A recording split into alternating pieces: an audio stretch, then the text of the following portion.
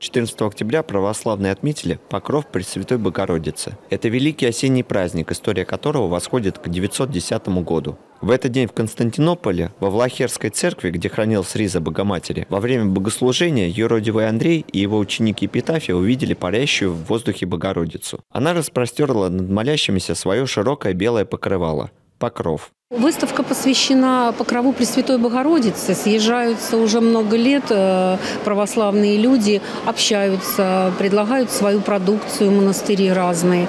Вот, вот наша лавка Успенского храма тоже представляет э, там наш товар, иконочки, которые у нас есть.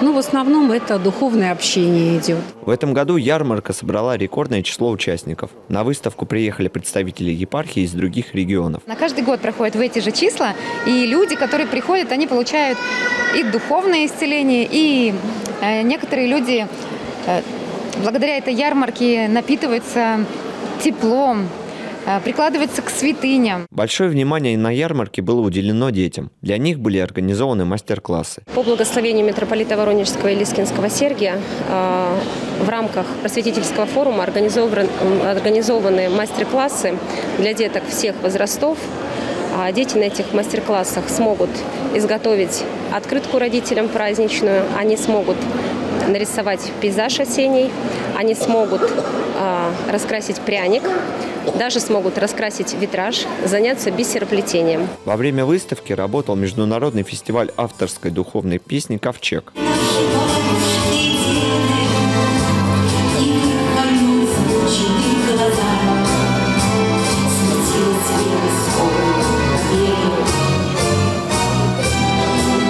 Каждый год ярмарка пользуется большим вниманием горожан и гостей города. Некоторые приходят сюда не в первый раз. Несколько лет назад мы ну, по, по работе мне пришлось сюда при, не пришлось с удовольствием мы приехали здесь проводился э, день православной книги и письменности и мы ну, участвовали здесь и в связи с этим пришлось было очень интересно посмотреть вот выставку.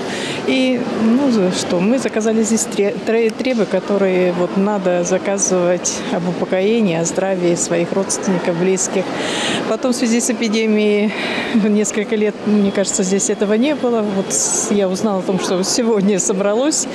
Э, вчера открытие было, и вот приехала для этого. Я приехала с области. Наверное, самая главная цель любого православного участника, который это же православный фестиваль, подарить свою любовь, как Христос, который обогревал всех, и бедных, и богатых, как солнце светил нам. Поэтому нам надо делиться теплом, любовью, творчеством, ну, конечно же, заботой друг о друге, чтобы стать сильнее. Выставка никого не оставила равнодушным. Виктор Шацкий, Дмитрий Хлебный, 41 телеканал «Воронеж».